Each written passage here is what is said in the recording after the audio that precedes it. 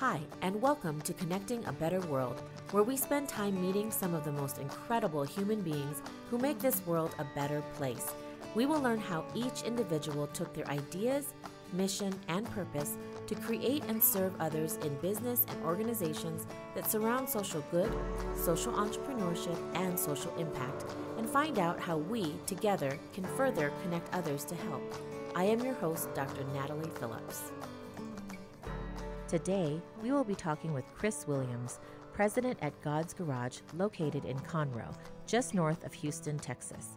God's Garage is a nonprofit garage filled with a group of people who want to help others. God's Garage was born out of the needs they witness as they are dedicated to repair vehicles for single mothers, widows, and wives of deployed military who may be struggling to make ends meet. They have also found those who may be in need of a vehicle but are not at the place where they can purchase one. Through donated cars and parts, God's Garage is able to bridge troubled times in so many people's lives by giving away vehicles to qualifying recipients.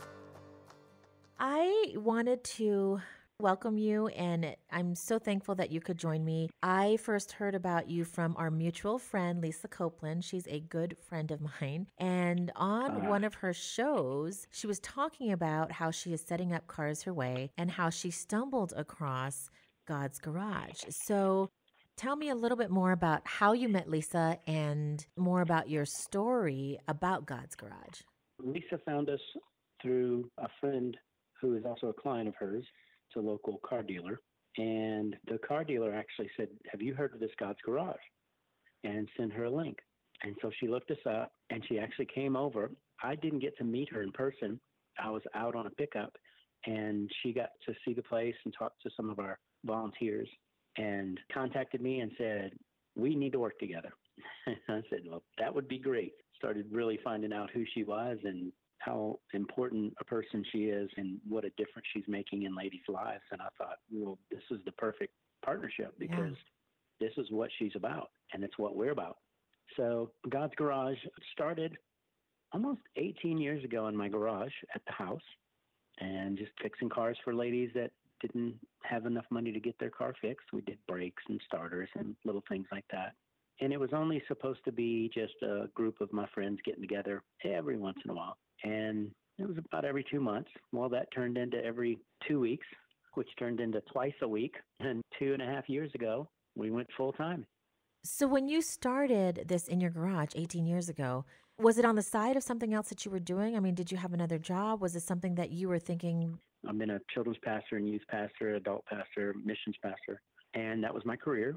And that's what I thought I would be doing for the rest of my life. I actually don't like working on cars. Oh my goodness. Not one of my favorite things. And it's something I know how to do. And it's one of those things that I felt God was saying, What's in your hand to do? How can you help people? Well, I teach and I preach and I counsel, and it was just a constant nudge. And finally, I felt I'm supposed to go after this garage full time. And I thought, well, there's no way because, you know, I funded the garage. And if I quit my job, who's going to fund the garage and what am I going to do? Just work every day by myself in my house? And God had bigger plans, that's for sure. So we're off to the races now. We are actually purchasing 13 acres oh, on uh, one of our major roadways here, and it already has five outbuildings. So we are doing a major expansion. We have another location in Utah, and we're looking at opening three to four this next year. Oh my goodness! Uh, across the, the states. My goal is to get one of these in every state, and then two and three and four.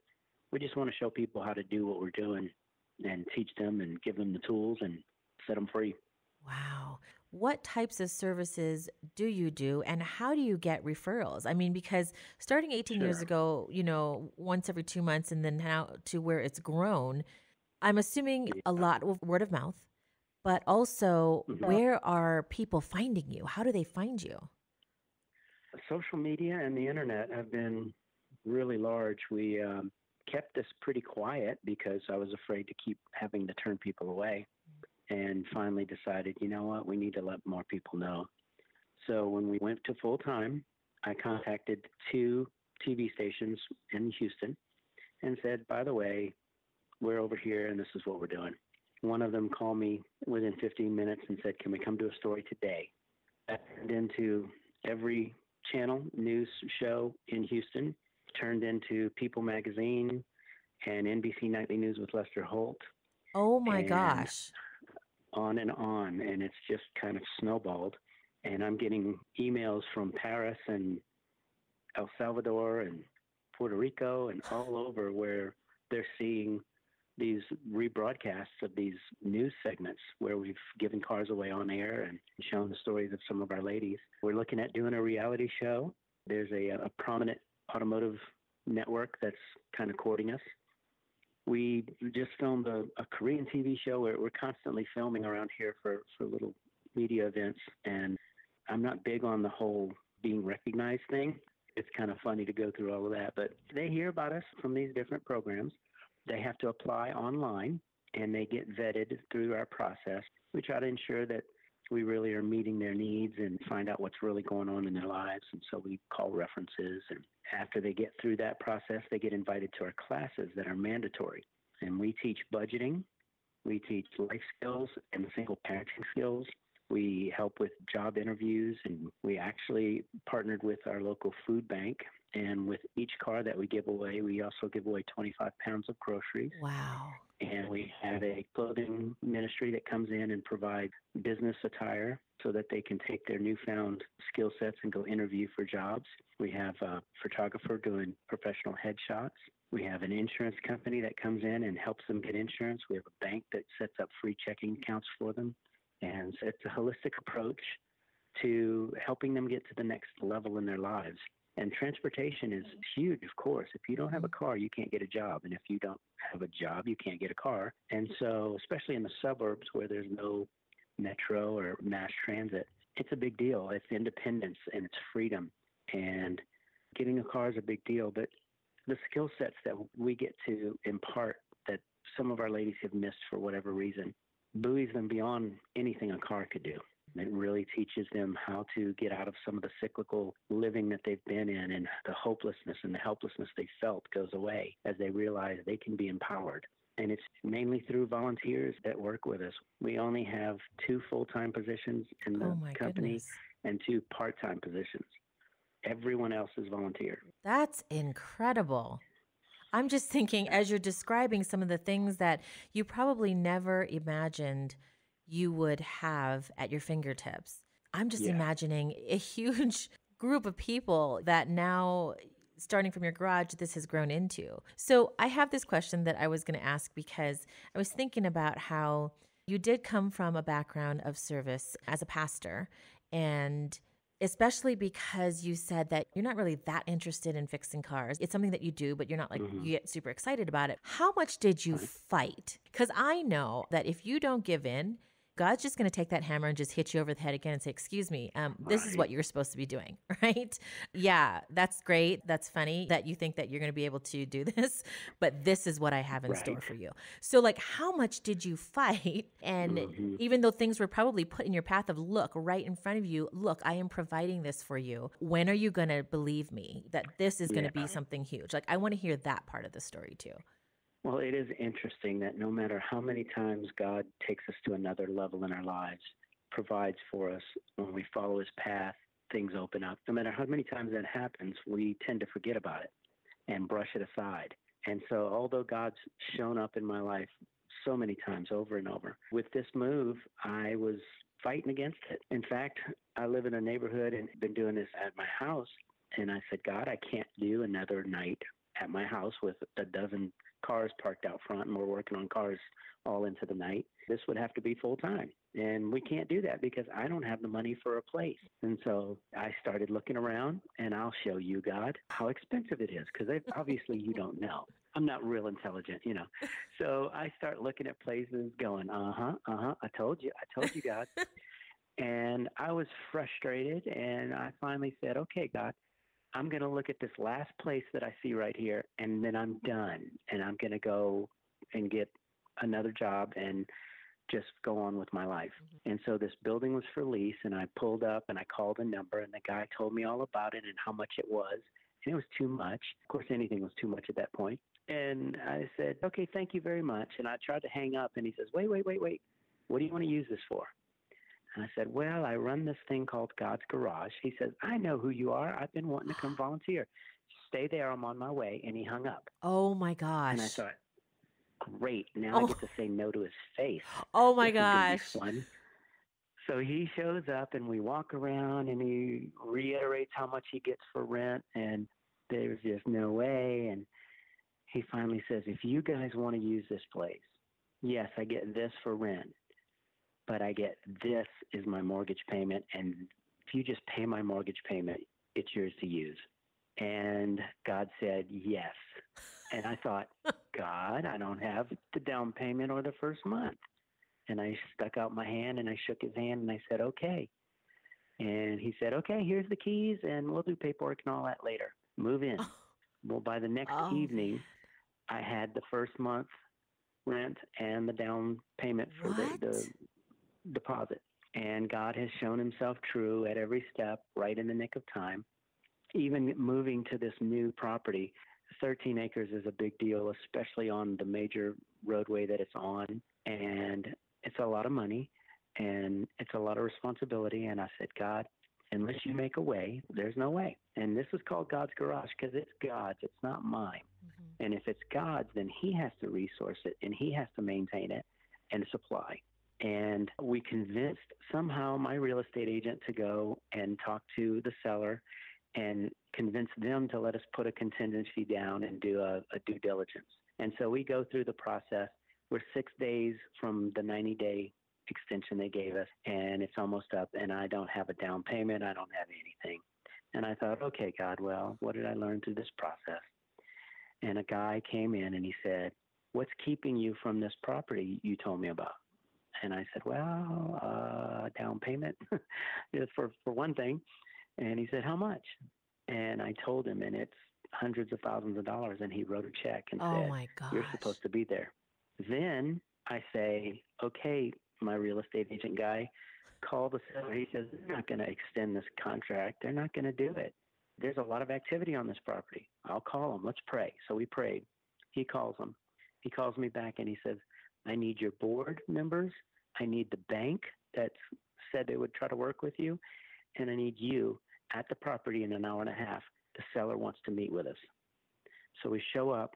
The seller ends up telling us how much he wants us to have this property. And he says, I will make the first year's mortgage payments for you. I will give you the cash to put in the bank to make every payment for the first year Wow. From the seller. Again, God continues to show up as we take the steps. And it's taking those steps that are the hardest thing because you don't see what's going to happen and you don't know what's going to happen. And it's such a faith thing. But when God tells you to do something, you've got to just step out and do it and say, okay, God, if you want to teach me something through this, then I'm going to learn. If you want to make this happen, then I'm going to walk through the door. But if you don't want me in the door, close the door. And that's my prayer always Mhm. as, as I make these decisions. If you don't want me in there, close the door. If you want me in there, you're going to have to open the door, not me. Do you feel that because you've gone through this and you continue to grow through this and your faith must be busting at the seams, but do you still walk through that doubt or do you think that your faith has gone stronger of no seriously I am going to step out because I know he's going to provide. Do you think that it's been getting easier to do that? It's gotten better.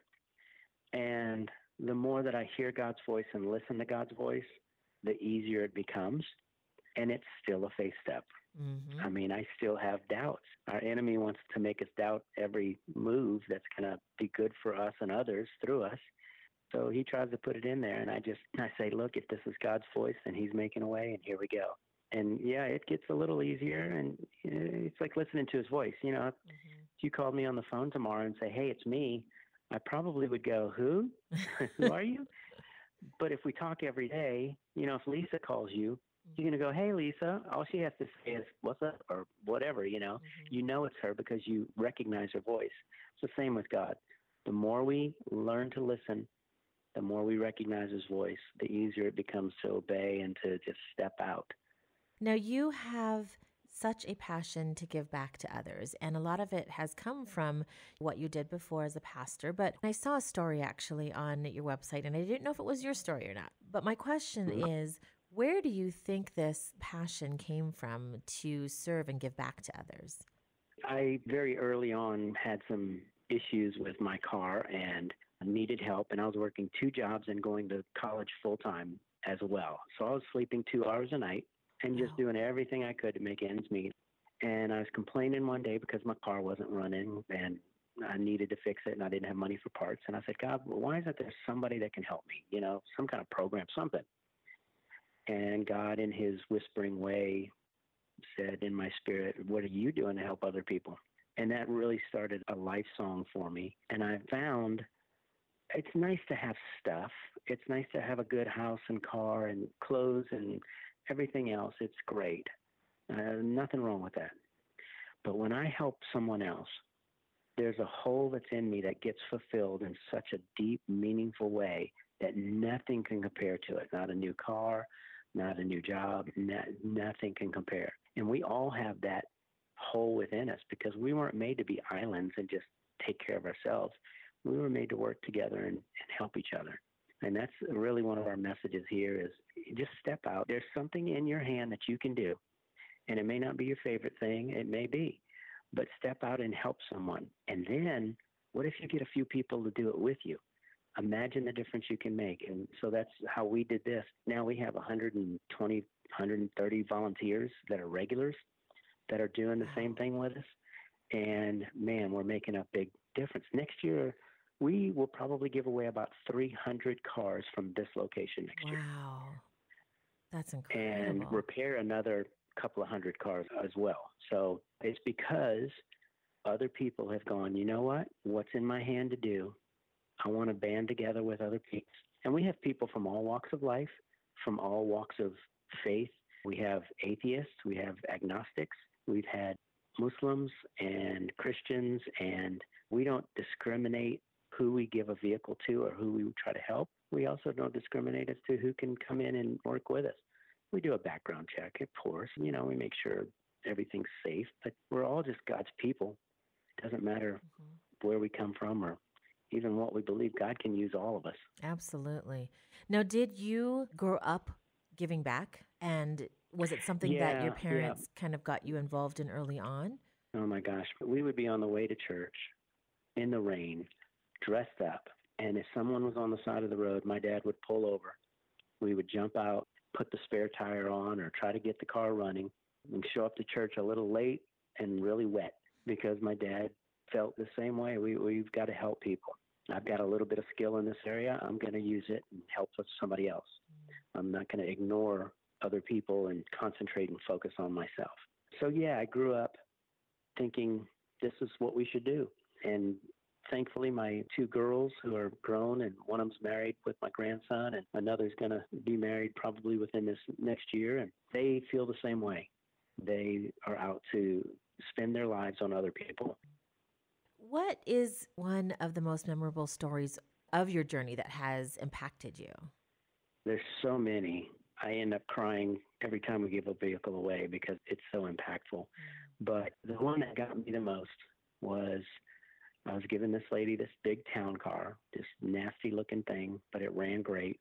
But you could probably put 10 people in it. It's one of those long boats. And I'm giving her the keys, and she's crying, and I'm crying, and the kids are crying. There's three kids.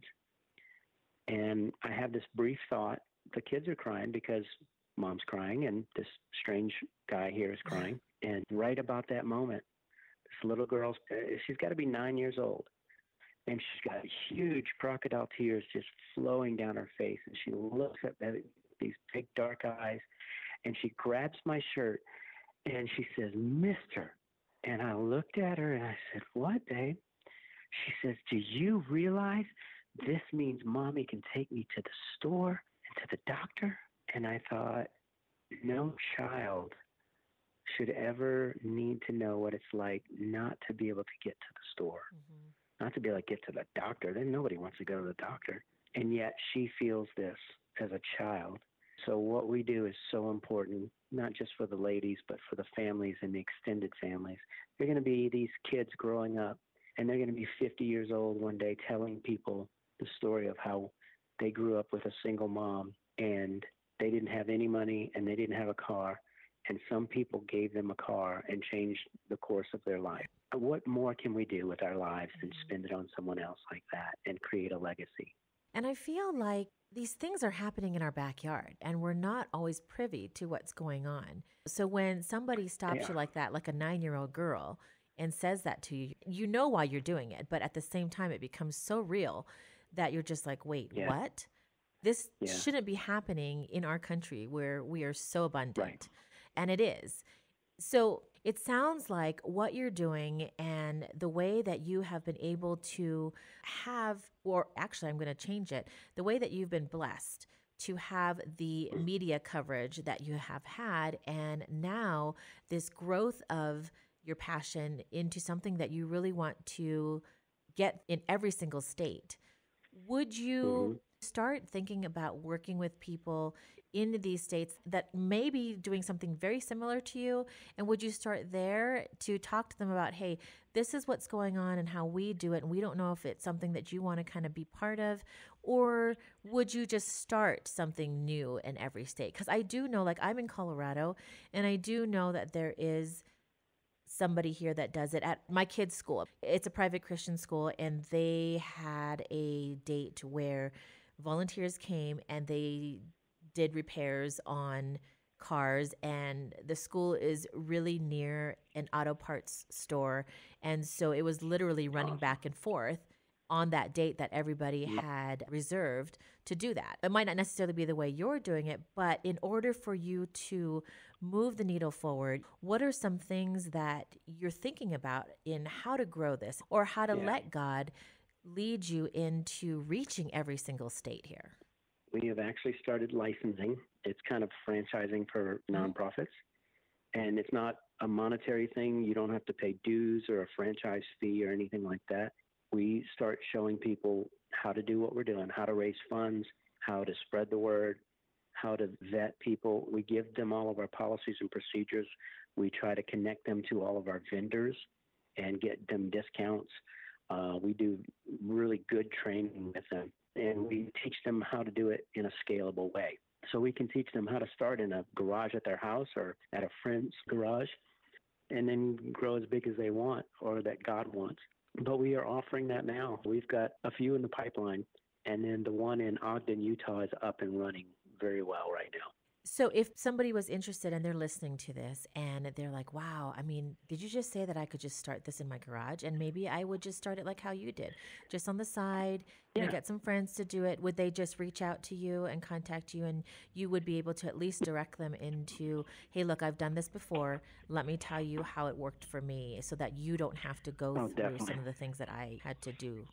Definitely. awesome. And we've learned so much. I've been in ministry for 26, 27 years, and I still didn't know so much about how to do this until we actually started doing it. Right. So I can save a lot of heartache and I can teach them some easier ways to go about it. But yeah, man, they full time job, dad, husband, and you can still do this out of your garage, That's out of your driveway, and help people. And I can show them how to do it. So just contact us. Wow, that is awesome. That is amazing.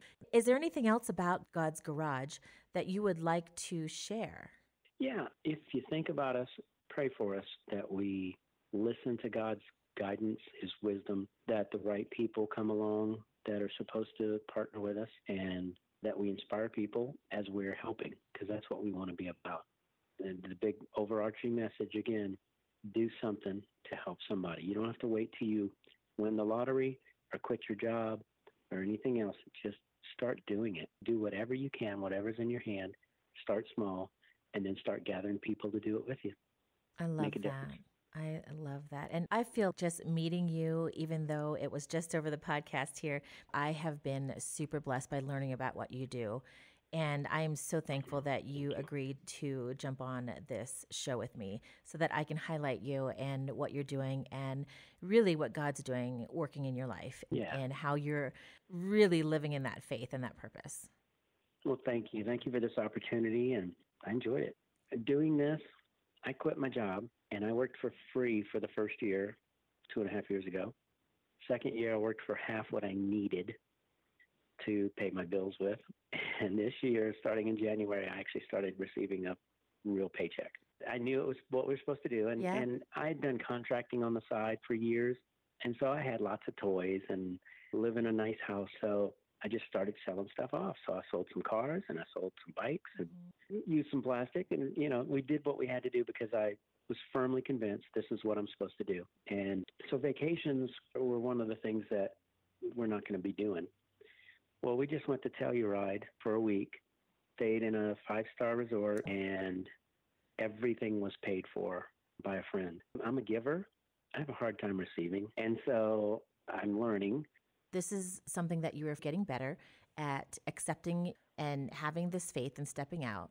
But it's the same thing mm. that you just said about receiving this gift from somebody too. God is trying to show you that, hey, I told you I was going to take care of you. And I know that you said no vacations, nothing, you know, this is what I'm going to do. But I am telling you that you can still be blessed by doing something like this as well. Yeah, I'm learning. Well, thank you so much. You are such an incredible human being. And thank you so much for being who you are and really accepting what God has placed on your plate for you and your life. So thank you. Awesome. Thank you.